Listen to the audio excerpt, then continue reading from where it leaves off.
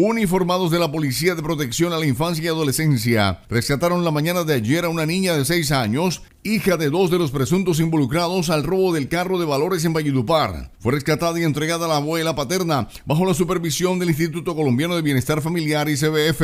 El procedimiento se llevó a cabo en la urbanización Santorini de esta capital, donde en una habitación de la vivienda fue localizada la menor quien estaba encerrada desde el día anterior, según denuncia realizada por la ciudadanía. Al lugar hizo presencia la abuela paterna de la menor quien manifiesta que desconoce todo lo que está pasando. No logra entender cómo pudo haber estado sola desde la noche del domingo. Dijo que se acercó a la casa de su hijo porque vio la noticia donde al parecer está involucrado en el caso del carro de valores. Por eso decidió llegar hasta la casa donde se encontró con la escena de que su nieta llevaba más de 20 horas encerrada sola en la vivienda. Nos permitimos informar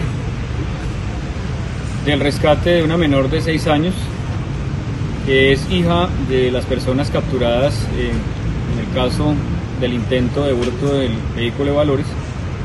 Por tal motivo nuestro grupo de infancia y adolescencia hace una actuación importante de restitución de derechos y es dejada de manera inmediata a disposición del Instituto Colombiano de Bienestar Familiar. Conociendo todo lo anterior donde se evidencian las vulneraciones de derechos a las que fue expuesta la niña, como se encuentra contemplado en el Código de la Infancia y la Adolescencia en los siguientes artículos 18 y 20, se procedió a tomar contacto de manera inmediata con la defensora de familia, dándole a conocer lo acontecido con la niña y se decidió entregarla a su abuela paterna para garantizar sus derechos y no alejarla de su núcleo familiar.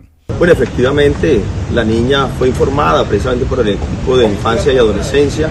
Eh, en donde se consideró que podía quedar, digamos, bajo el cuidado de familia extensa, en este caso de la abuela, y a partir del día de mañana continuarán las valoraciones iniciales, tanto emocionales como físicas, para determinar la procedencia de un proceso administrativo de restablecimiento de derechos. El ICBC es una institución que marca la diferencia.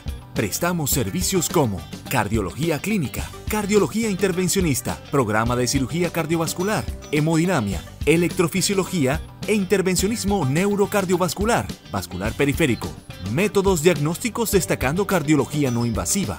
Además, contamos con el servicio de unidad de cuidados intensivos y hospitalización, un equipo humano comprometido en el cuidado y monitoreo de nuestros pacientes, brindando un servicio oportuno según la necesidad. Nuestro lema es Por el corazón del valle. Le ponemos el corazón para el bienestar de nuestros pacientes. Somos el Instituto Cardiovascular del Cesar.